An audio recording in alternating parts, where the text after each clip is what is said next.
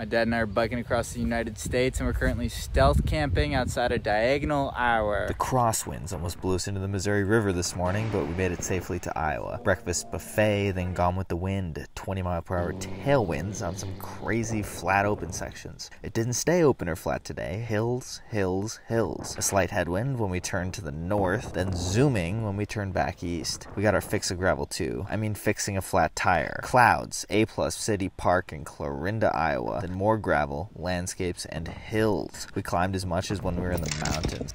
Almost as good as Bolthouse. Thankfully, it wasn't as hot today. Now we're watching the fireflies and washing our pot. 96 miles today. Some stats for the nerds. That's a wrap.